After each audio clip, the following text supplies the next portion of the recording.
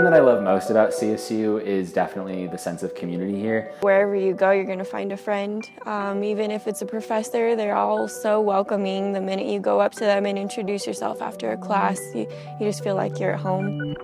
I didn't know there was a thing called liberal arts, and so I definitely it filled my passion. That's where my drive came from. It's just invaluable. I don't know who I would be as a person if I had gone a different way at this point, you know, if I hadn't met these people. Everything about the liberal arts is about thinking critically and communicating um, effectively, and I think that that all revolves around people and the way that we think and the way that we interact with each other. And so there's just, in the general sense, there's just something so inherently me, I think, about what I study.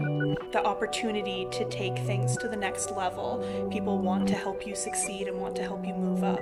And I have greatly benefited from uh, those connections at CSU, getting me um, internships other places, internships in my field, working with people who are really doing what I want to be doing. And so it's really cool to be academically supported by professors um, and really pushed and challenged by our programs to um, be scholarly and be academic and, and become that next generation of intellectuals. I've definitely learned like some of the skills from some of my classes to work with communities better and to listen to people and I guess be a more hopeful person.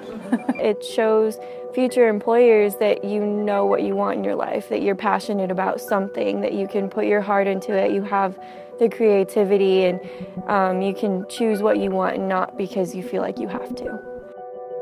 I walk into classrooms every day where I'm with students who are studying what they're passionate about and studying what they love, with professors who have devoted their lives um, to this passion. CSU, they use the motto for liberal arts of live your passion, and that's what I've done for five years is live my passion through dance every day.